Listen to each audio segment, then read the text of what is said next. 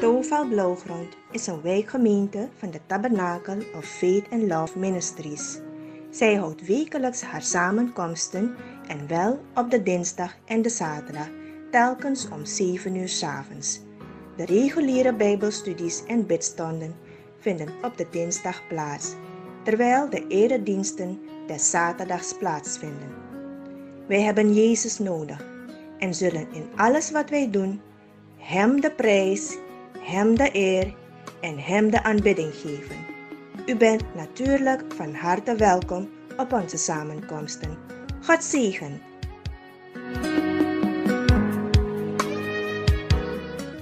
Geliefde broeders en zusters, mijn naam is Lucia Kaarsen. Ik groet u in de wonderbare naam van uw Heer en Heiland.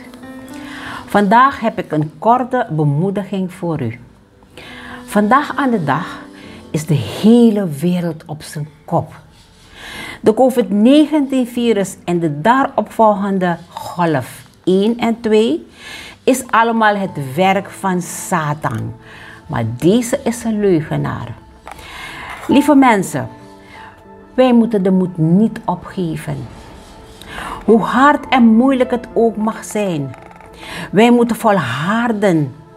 Het is een strijd waar wij tegenaan moeten vechten. Lieve mensen, maar er is hoop. Onze Heer en Heiland laat zijn kinderen niet in de steek. Roep hem. Geef uw leven aan onze Heer. Wees gehoorzaam en bid, want gebed is de sleutel. Weet u, soms kunnen wij ongehoorzaam zijn. Wij willen de moed opgeven. Maar wij mogen niet verslappen in gebed.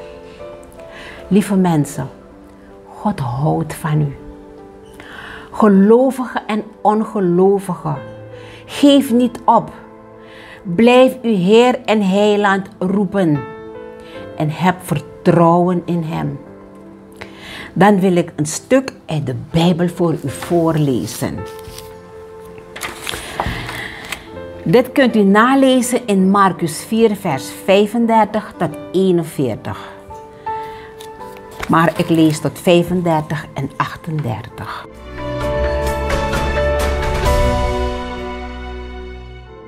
De storm op het meer.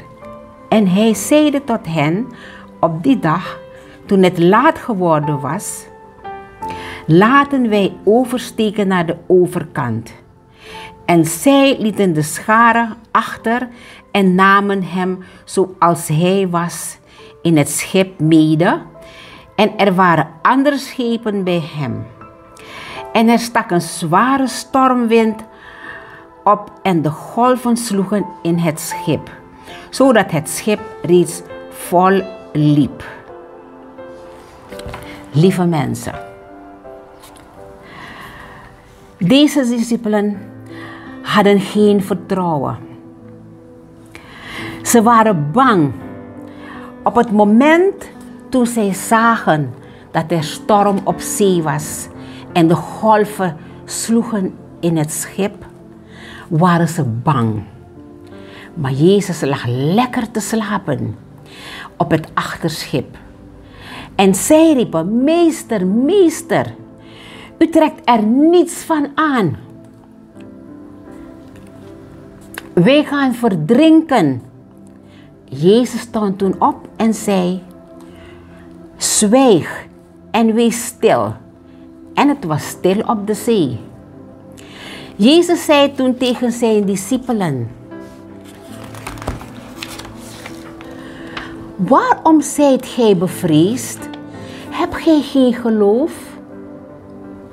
Weet u, soms gebeuren er dingen in uw leven. Er gebeuren dingen in uw leven waar u geen raad mee weet. Maar, lieve mensen, wij moeten de moed nooit opgeven. Blijf sterk in geloof en bid. Want Jezus is gekomen om ons te redden, om ons te verlossen van de zonde. En door zijn striemen zijn wij genezen. Lieve mensen, Jezus houdt ook van u. Laten wij bidden. Abba Vader, Heer en Heiland, Almachtige God. We danken u voor wie u bent. Dat wij bij u mogen aankloppen in welke situatie wij ook mogen verkeren.